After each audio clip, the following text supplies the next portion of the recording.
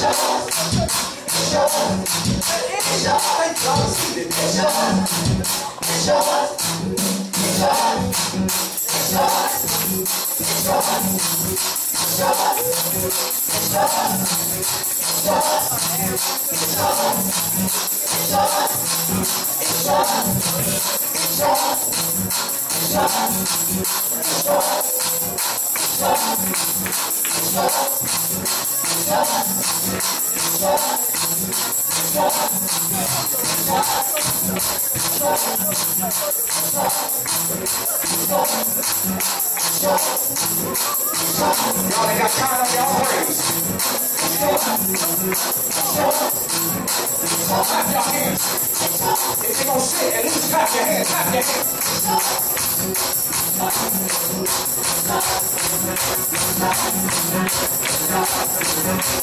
I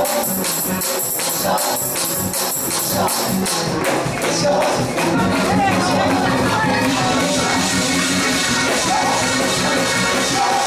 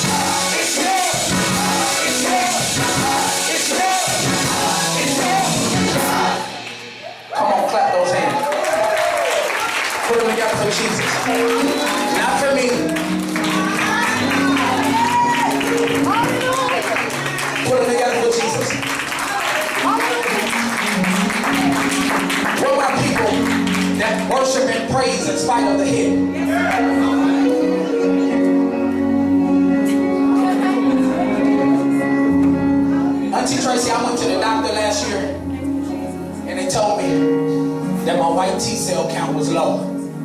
They said there's nothing you can do to get it back up. They said everything about you is healthy, but that's just low.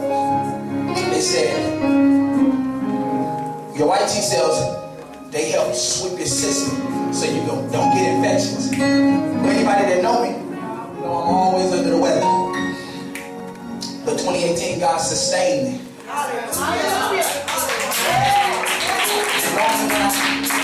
And so watch this. Just last week, I started, my throat was scratchy. My eyes were scratchy. My, my head was just, just swollen. By the time I got back to LA, I had a full-blown allergy attack. Now I just made 31. I ain't never had an L, an R, or a G in my life. And watch this. I'm talking about, I'm at, I'm at home. I'm talking about with the sweats. I Google the symptoms. And one of the symptoms is just, at any given point, your nose just gonna run. You know, normally you can prepare when your nose gonna run, you prepare. I would just be walking and here comes snot, just, just gonna fall out. Y'all laughing, but it was horrible. So I called, I called one of my brothers in the Lord last night and we was talking and I was telling him what was happening. He said, I'm gonna stop right here, I'm gonna pray with you. He said, because every time I talk to you, the enemy is hitting your body. And, and he don't just hit it for a couple of days, it holds for a couple of weeks when it hits your body.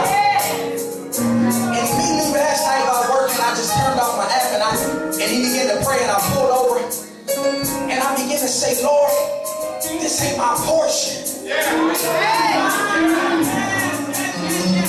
The other night we came to the shut in, and I could hardly keep my eyes open. Not because I was sleepy, but because the pressure in my head. I took aspirin and Tylenol, it wouldn't work. Taking a little medicine, it wouldn't work. I said, Lord, I don't care what happens, I'm going to give you glory. So everything that's a symptom gonna have to come on and give you glory right along with it. And my brother began to pray last night. And I began to say, God, this ain't my portion. Now I'll admit that there are some symptoms there, but I will not receive the verdict that this is the end. And this will not be the next half of my life. See, only real worshipers and praisers know how to give God glory in the midst and stop receiving everything the enemy sends your way. So before we shift, I want you to lift your hands because y'all done all sat down. I want you to lift your hands and open up your heart. We're going to sing this verse in chorus and we're going to move. Want you to just open up your heart and begin to worship God right where you are. Because I'm standing up here and I